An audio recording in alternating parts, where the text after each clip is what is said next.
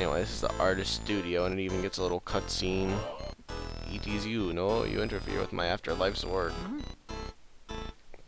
Yep, this guy was painting all the non-portrait ghosts, and they were coming to life because that's how much of a ghost he is. You filthy swine, you're blind to the life I give to my... I don't think you're really giving ghosts that much life, but then very well I will show you the mastery of me art. Or wait, what? My art. I don't think I have the right accent there.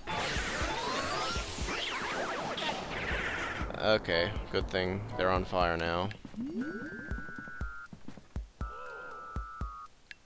Uh, uh, it's a bit of a shame you're all on fire.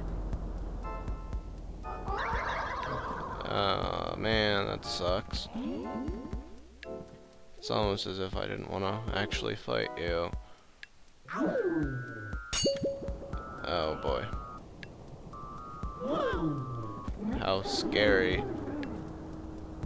Scary part of them is how much HP they have. I'm not scared of the actual ghosts. I'm not afraid of no ghost.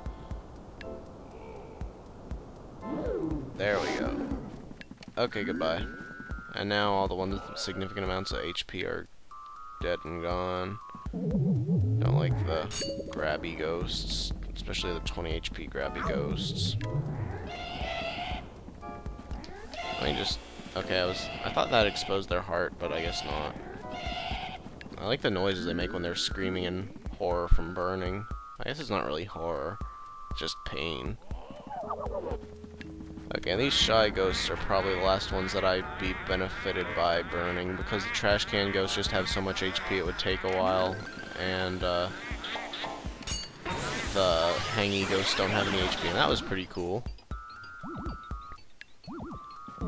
So yeah, this is the most trash can ghosts you ever fight at one time in the game, for what that's worth, I believe. There's like two in one of the early rooms that you fight at a time, but this is actually probably the hardest part of the fight from how many bananas there are everywhere. Or how many bananas there can be if you're not thoroughly cleaning them up like I am. Yeah, Vincent Van Gore is one of my favorite ghosts, just from character design and your actually how you actually fight him, because it's fun to have like a ghost arena at the end of the game like this. Okay, whoops. That was less than ideal. Why am I so bad at this? I should keep my flashlight turned off sometimes. Goodbye. Wait, what? I was vacuuming that up and it slipped me. Uh, this is not very good. There we go. Goodbye.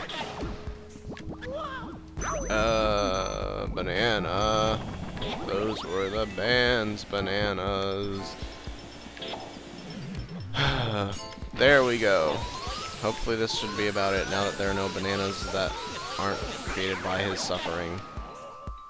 And this is a bit of a pushover for the last ghost. I mean, they are making bombs, but th this also happens. Yeah, that whole zero HP thing sort of makes them less than the most efficient ghost. I still like how they laugh, though. It's quite unsettling. I also like the ones that just hang and don't drop bombs, so they're like existing solely to be freaky. My, my creations, but even if I disappear, my work will live on. Zati's right, nest se past, art is eternal, huh? You say that only my creations he's left, but these cannot be. Zatolos. What is the last one of his creations? The treasure chest? Those little fish ghosts, maybe?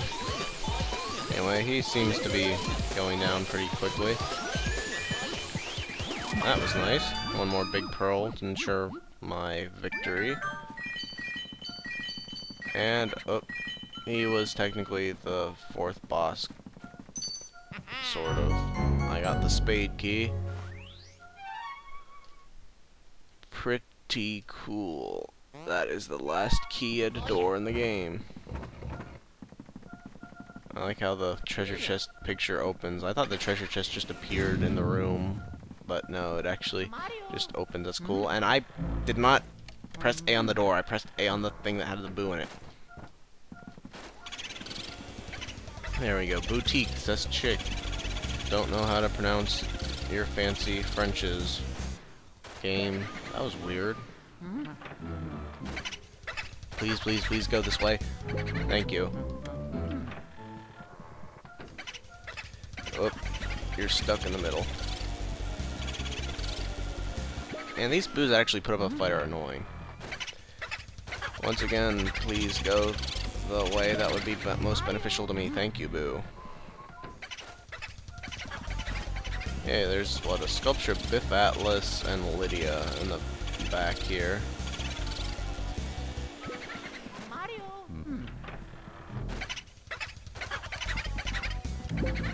Ah, boo. Why do you even allowed in hallways that aren't fairly long like the main story hallways?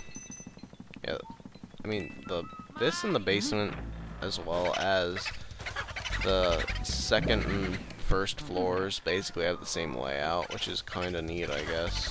Although, I mean, I'd say a bit lazy, but really it is supposed to be a mansion. It's not supposed to be a well-designed dungeon or anything. For trickery and treachery and... I mean, makes it almost seem more mazy in this... I mean, I've played this game long enough. If you asked, if you told me to go to a random room, I'd probably find it before too long, but it is a bit harder than most games to navigate, I'd think. Yes, I'd think. And with that, I have all the boos. Yep, that just drops a yellow diamond. You give those boos what for, Luigi? Yeah, thanks for your special message. Oh well. Another, what is that, 20% of the debt gone. Almost enough for a gold Luigi's Mansion. Wait, what? Mario! Yes, I'm still suspicious in Pikmin 2 how the debt seemed to include the cost of plating the ship gold. Um, probably shouldn't get too into that in the middle of a Luigi's Mansion Let's Play, but still bothers me. And I probably could have teleported with a mirror, but honestly, it's not that much extra. And I mean, and actually, wait, no, this isn't where I think it is, is it?